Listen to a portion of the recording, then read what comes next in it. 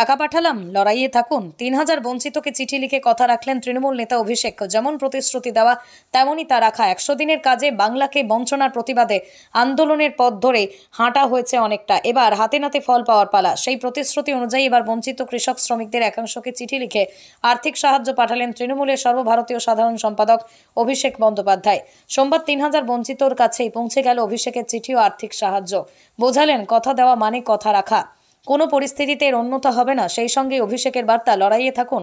একশো দিনের কাজের মতো কেন্দ্র রাজ্য যৌথ প্রকল্পের কাজ হওয়া সত্ত্বেও বাংলা শ্রমিক কৃষকরা প্রাপ্য বকেয়া পাননি। আর তা পাওয়ার দাবিতে বঞ্চিতদের নিয়ে আন্দোলনে দিল্লি পর্যন্ত নিয়ে গিয়েছে শাসক দল তৃণমূল। যার নেতৃত্বে দলের সর্বভারতীয় সাধারণ সম্পাদক অভিষেক বন্দ্যোপাধ্যায়। অক্টোবরের একেবারে প্রথম দিকে দুদিন ধরে দিল্লিতে কর্মসূচি ছিল। তৃণমূল তাঁদের কৃষি ভবন অভিযান নিয়ে ধুমধুমার পরিস্থিতি তৈরি হয়। সেখানে কেন্দ্রের তরফে কোনো আশ্বাস না পাওয়ায় কলকাতায় ফিরে রাজভবনের সামনে ধর্নায় বসেন অভিষেক, সঙ্গে বঞ্চিতরা।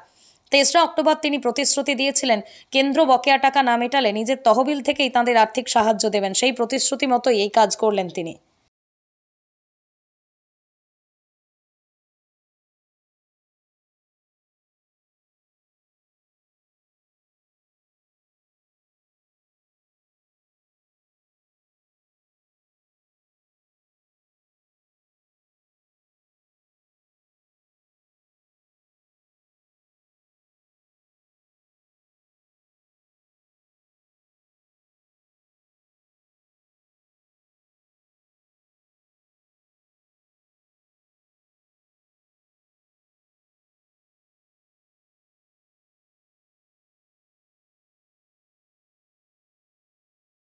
টাকা পাঠালাম, লড়াইয়ে থাকুন। তিন হাজার বঞ্চিতকে চিঠি লিখে কথা রাখলেন তৃণমূল নেতা অভিষেক। যেমন প্রতিশ্রুতি দেওয়া, তেমনই তা রাখা। একশো দিনের কাজে বাংলাকে বঞ্চনার প্রতিবাদে আন্দোলনের পথ ধরে হাঁটা হয়েছে অনেকটা। এবার হাতে নাতে ফল পাওয়ার পালা। সেই প্রতিশ্রুতি অনুযায়ী এবার বঞ্চিত কৃষক শ্রমিকদের একাংশকে চিঠি লিখে আর্থিক সাহায্য পাঠালেন তৃণমূলের সর্বভারতীয় সাধারণ সম্পাদক অভিষেক বন্দ্যোপাধ্যায়। সোমবার তিন হাজার বঞ্চিতর কাছেই পৌঁছে গেল অভিষেকের চিঠি ও আর্থিক সাহায্য।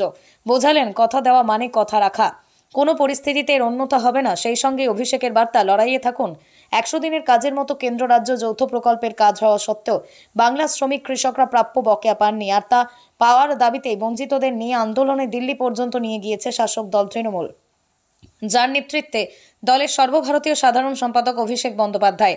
অক্টোবরের একেবারে প্রথম দিকে দুদিন ধরে দিল্লিতে কর্মসূচি ছিল। তৃণমূল তাঁদের কৃষি ভবন অভিযান নিয়ে ধুমধুমার পরিস্থিতি তৈরি হয়। সেখানে কেন্দ্রের তরফে কোনো আশ্বাস না পাওয়ায় কলকাতায় ফিরে রাজভবনের সামনে ধর্নায় বসেন অভিষেক, সঙ্গে বঞ্চিতরা। তেসরা অক্টোবর তিনি প্রতিশ্রুতি দিয়েছিলেন, কেন্দ্র বকেয়া টাকা না মেটালে নিজের তহবিল থেকেই তাঁদের আর্থিক সাহায্য দেবেন। সেই প্রতিশ্রুতি মতোই এই কাজ করলেন তিনি।